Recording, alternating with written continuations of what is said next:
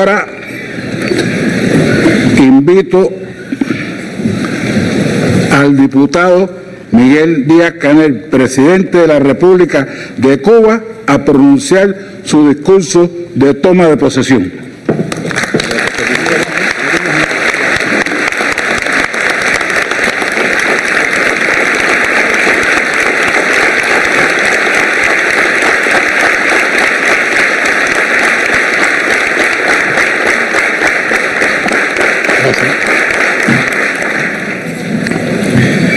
Querido general de ejército Raúl Castro Ruz, primer secretario del Comité Central del Partido Comunista de Cuba. Queridos compañeros de la generación histórica, compañero Esteban Lazo, presidente de la Asamblea Nacional del Poder Popular y del Consejo de Estado, integrantes del Consejo de Estado, diputadas, diputados, pueblo de Cuba. Es 10 de octubre y los cubanos debemos felicitarnos el primer día de libertad e independencia de Cuba, como lo llamó Carlos Manuel de Céspedes, tiene todos los derechos para ser uno de los más celebrados en nuestro calendario nacional por sus fuertes resonancias desde aquel minuto de 1868 hasta este en que hemos renovado el juramento de servicio incondicional a la patria. Aunque después la nación crecería llena de episodios legendarios, la primera inspiración vino de aquel día en que se quebraron los grilletes y la bandera hecha por una mujer hundió en las manos más nuevas. Juntos y abrazados a un ideal por primera vez, blancos y negros, mujeres y hombres, jóvenes casi todos, y como abanderado el cubano de menos edad. Así se vivió el primer 10 de octubre, lleno de significados trascendentes. Cuentan que un muchacho de 20 años llamado Emilio Tamayo fue el primero en pasear la enseña que confeccionó Cambula por el campamento que se había instalado en la de Majagua. Y que el padre de la patria dijo al almiral Londeando, primero mueran antes que verla deshonrada. Se dice también que tocó la campana del ingenio otro muy joven bayamés, Manuel García Pavón, quien sería el, el último sobreviviente del histórico alzamiento. ¿Qué quiero significar al evocar estas memorias? En primer lugar, por supuesto, rendir el debido tributo a la historia y a sus eternos enlaces con nuestro presente, desafiante y plagado de amenazas y riesgos, como aquel primer día de la de Majagua y como cada jornada en los 151 años de lucha de Cuba por sostener su independencia. Me interesa especialmente hoy destacar los episodios que colocan a la juventud cubana en el epicentro de esas luchas por algo que casi un siglo después del 10 de octubre de 1868, en julio de 1962, en Santiago de Cuba, Fidel decía a los estudiantes y profesores de la Universidad de Oriente, y cito, la revolución no es una lucha por el presente, la revolución es una lucha por el futuro. La revolución tiene siempre su vista puesta en el porvenir y la patria en que pensamos. La sociedad que conseguimos como sociedad justa y digna de los hombres es la patria del mañana. Fin de la cita. La revolución es una lucha por el futuro. Lo ha sido siempre y lo es ahora. Para el Consejo de Estado, su presidente, vicepresidente y los restantes 19 miembros que acaban de ratificarse o elegirse este 10 de octubre, para el vicepresidente de la República y para su presidente, la tarea número uno tiene que ser el futuro. Agradecemos la confianza al elegirnos para estas responsabilidades que unidos desempeñaremos en pos de ese futuro. Por eso hemos puesto en primer lugar y de manera simultánea la defensa y la economía. No olvidamos por un segundo que una revolución vale lo que sabe defenderse y quienes olvidan esa lección no viven para contarlo. La economía como base y sostén de la superestructura social resulta la gran determinante del futuro. En días recientes, a través del sitio de la presidencia, convocamos a pensar como país y al leer detenidamente las más de 1.200 respuestas, encontramos mucho optimismo y confianza de cara al futuro, aunque también en algunos casos expresiones de preocupación. Lógica y revolucionaria inquietud que compartimos frente a un mundo dominado por el desequilibrio en las relaciones económicas, sin amortiguadores para las naciones de menor desarrollo y donde se ha convertido en práctica que las instituciones financieras globales rescaten bancos, pero nunca pueblos. Un mundo donde predomina el respeto a la legalidad internacional, liderado por la potencia hegemónica y la imposición de sus pretensiones mediante amenazas y sanciones. Un mundo manipulado por perniciosas campañas mediáticas contra una nación solidaria y pacífica como Venezuela, al mismo tiempo que insisten en legitimar como su presidente, entre comillas, a un impostor sin respaldo popular alguno. Un mundo donde ha llegado a usarse el podio de la Asamblea General de la Organización de Naciones Unidas para descalificar, menospreciar, amenazar y negar sistemas sociales y gobiernos soberanos y mentir descaradamente en el intento de propiciar intervenciones de todo tipo, incluso militares. Un mundo donde se rompen acuerdos globales, proyectos de cooperación y programas de salud que resultaban esperanzadores para mayorías excluidas. Un mundo donde se utiliza el poder judicial para recluir en prisión a líderes progresistas y se persigue y asesina activistas sociales sin que se haga justicia. Un mundo donde los que levantan muros, separan familias, encarcelan niños emigrantes, prohíben intercambios entre pueblos y bloquean el acceso al desarrollo de otras naciones, también ponen en riesgo a la especie humana cuando desconocen el cambio climático y desestiman los avisos de la ciencia mientras arden el Amazonas y otros pulmones del planeta. Un mundo así realmente nos alarma a todos. En la primera cumbre de la Tierra en 1992, Fidel pronunció su estremecedor discurso de advertencia sobre una especie en peligro de extinción. Nadie debería asombrarse entonces de que un adolescente llore frente a los responsables del desastre. Las lágrimas de Greta Thunberg son las lágrimas del futuro. Gobernar prever, sentenció Martí, y la revolución cubana debe mucho a la genialidad previsora de Fidel y de Raúl. Esa es nuestra escuela política. Quienes lo pongan en duda solo tienen que mirar 60 años de historia revolucionaria, desde la alfabetización y alta escolarización de nuestro pueblo, base para forjar el valioso capital humano que nos distingue y elevar el desarrollo de la ciencia y la medicina a niveles de vanguardia mundial, hasta la advertencia temprana y los preparativos que ahora nos han permitido enfrentar el brutal recrudecimiento del bloqueo por parte de la administración norteamericana con menos daños de los que nuestros adversarios calcularon. El compromiso que hoy hacemos ante ustedes es mantener y fortalecer esa práctica, aprovechar el inestimable capital humano que hemos formado y los aportes de la academia y la ciencia para elevar el nivel de eficiencia de la gestión gubernamental como resultado de la previsión que genera el conocimiento. El país tiene el compromiso de hacer florecer el talento formado por la revolución, producir y aportar internamente sin cerrar las puertas a la cooperación y los aprendizajes fuera de fronteras. La exportación de productos cubanos y de servicios debe crecer y diversificarse. Cuando decidimos aumentar entre tres y cinco veces los salarios del sector presupuestado, cuando promovemos la informatización acelerada de la sociedad, cuando pese a las limitaciones que nos impone el bloqueo, defendemos el fortalecimiento de la educación y el vínculo de las universidades con la producción en todos los niveles, estamos trabajando por el futuro.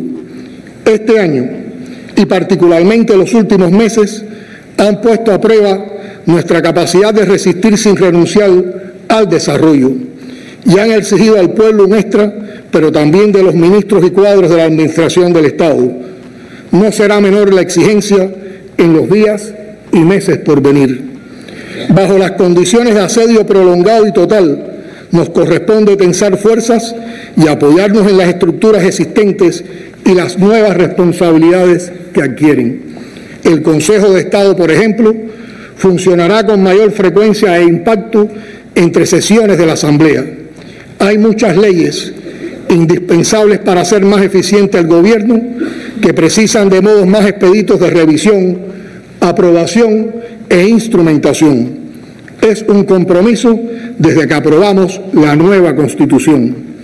Los municipios deben aprender a administrar los recursos disponibles con mayores facultades, pero con responsabilidad superior. Ya estamos a las puertas del año 2020 en el que nos hemos propuesto seguir consolidando nuestra economía, sin renunciar nunca a los sueños más grandes que por lógica elemental precisan mayor cantidad de recursos, afianzaremos líneas de trabajo y programas que durante el 2019 planteamos como prioridades, entre ellas las exportaciones, la inversión extranjera, la construcción de viviendas, la producción de alimentos, el turismo, el transporte y las fuentes renovables de energía. Como hemos planteado en ocasiones anteriores, tras la escasez de combustible generada por la terquedad del gobierno de Estados Unidos, el país volverá a la normalidad, pero no será con los mismos modos de hacer. Si algo bueno tuvieron estos días de tensión, ha sido sacar a flote las enormes reservas con que cuenta Cuba para trabajar de manera más eficiente. Por eso pondremos mayor énfasis en disminuir los gastos y ahorrar, en sistematizar las buenas soluciones nacidas de los años más duros del periodo especial, atemperadas a nuestra realidad. Es decir, tomando en cuenta los avances tecnológicos y del conocimiento que pueden convertir un principio de trabajo como el ahorro en un motor del desarrollo. Insistimos en la necesidad de trabajar por el bien de todos, en la preparación política e ideológica de los cuadros, en la convocatoria a los jóvenes que tantas energías nos aportan siempre y en la participación del pueblo en la búsqueda de las mejores soluciones con la certeza de que es inagotable la fuente de la inteligencia colectiva, así como las reservas de resistencia y creatividad que la agresividad del adversario siempre despierta en los cubanos. Digo como hace un año al asumir la tarea en la presidencia del entonces Consejo de Estado y de Ministros, no venimos a prometer, venimos a cumplir el mandato del pueblo revolucionario. Hoy comienza una nueva etapa de trabajo para quienes representamos al Estado y al Gobierno, que demandará de cada dirigente, cuadro y funcionario a todos los niveles, la disposición a echar por la borda el pesado lastre de prácticas obsoletas y mecanismos engorrosos que ralentizan los procesos y debilitan la autoestima nacional. Son nuevos los tiempos que vivimos en todos los sentidos y exigen un pensamiento diferente. Cambiar todo lo que deba ser cambiado, como nos dejó dicho Fidel, como nos lo ha demostrado Raúl durante sus años al frente de la presidencia y como nuestro primer secretario del partido. Cuando pienso en ellos, también estoy pensando en el futuro, porque su generación fue una generación de futuro que dejó hogar, estudios y comodidades para cambiar esta tierra de una vez. No les tembló la mano para combatir a las peores lacras que chupaban la sangre a la República, ni para desafiar al enemigo amenazante, levantando una nación nueva desde la raíz, desde el monte, desde la sierra. Como no temblaron a la hora de enfrentar la guerra sucia que duró años, con mercenarios destruyendo y asesinando prácticamente a todo lo largo y ancho de la isla, ni dudaron en dar apoyo a los pueblos hermanos que luchaban contra las odiosas dictaduras latinoamericanas, sostenidas y respaldadas por el mismo imperio que ahora acusa de dictadores a los líderes progresistas de la región. Por cierto, qué mal está haciendo quedar ese imperio viejo y desmoralizado su tropa de políticos mediocres y mendaces nucleados por la OEA. ¿Dónde están los que no han cesado de dar consejos sobre el destino de Venezuela y a la vez no muestran ocupación por los enormes conflictos y problemas sociales que aquejan a sus pueblos? ¿Cómo se proponen borrar en las agresiones contra Venezuela las chapucerías y los contubernios con mafias paramilitares? Si algo no perdió jamás el liderazgo de la revolución cubana, fue el curso de la moral en la historia.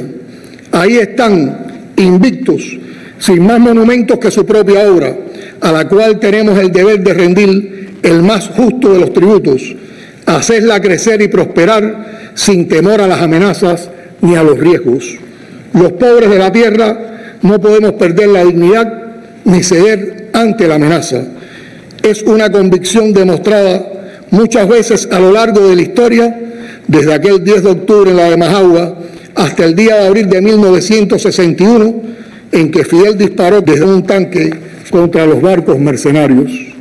En estos tiempos, en que hemos vuelto a acompañar al comandante Almeida en su grito de principios en medio de las más duras horas, afirmamos rotundamente que la revolución cubana preservará intacta todas sus convicciones, esas que costaron la sangre de los mejores hijos de nuestra patria.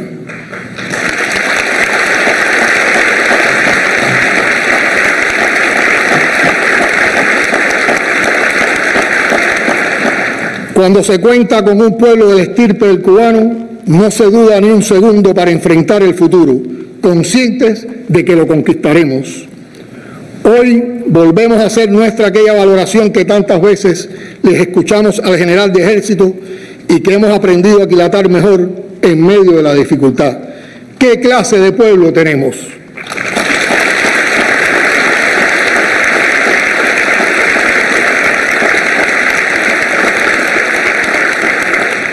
Los que crean y construyen han derrotado a los que odian y deshacen. La sangre de nuestros nobles aborígenes, nuestros abuelos europeos, africanos y asiáticos, y la de todos los hombres y mujeres de inmenso coraje que a lo largo de los siglos conformaron el ser nacional, y hierve de rebeldía frente a cada amenaza y de rabia ante cada agresión. Mientras más nos agreden, mientras más nos intimidan, más crece la voluntad y la fuerza nacional, la unidad.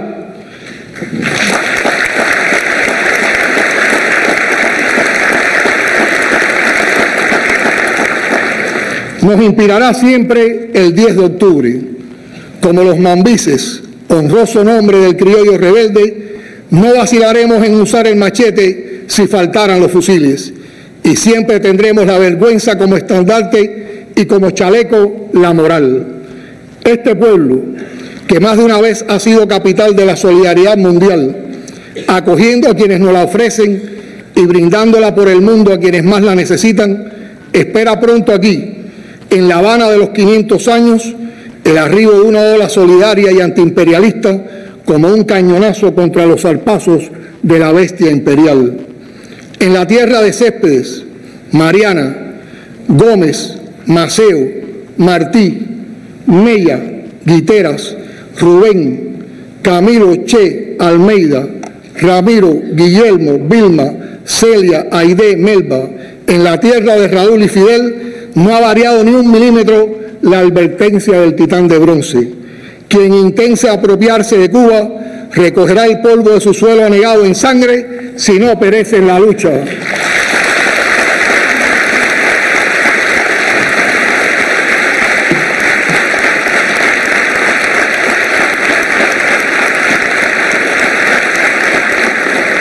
Compañeras y compañeros, nos esperan días intensos y desafiantes, pero nadie va a quitarnos la confianza en el futuro que le debemos a nuestros hijos en la patria que los padres nos ganaron de pie. ¡Viva Cuba Libre! ¡Viva! Socialismo, muerte, patria o muerte, venceremos.